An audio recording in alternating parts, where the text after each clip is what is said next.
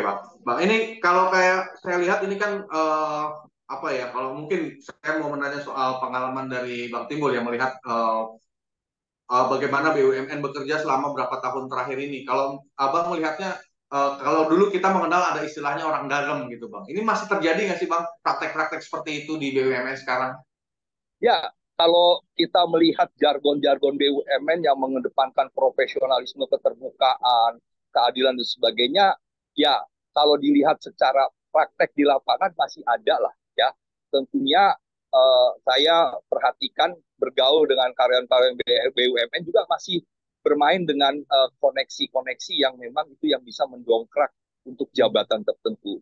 Jadi mereka sekarang berusaha bagaimana bisa bermain golf, bisa bermain apa ya uh, berkomunikasi dengan para pejabat hanya untuk mendongkrak, bukan berdasarkan apa yang menjadi profesionalisme dia, apa yang menjadi prestasi dia.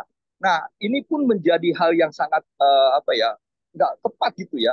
Dan kalau menurut saya ini yang harus juga bisa diseleksi oleh direksi bahwa kehadiran uh, seorang pejabat ataupun di seksi apa di jabatan jabatan tertentu ini harus benar-benar bisa disampaikan sebagai sebuah objektivitas bukan subjektivitas. Nah, jadi kalau dibilang saat ini masih ada masih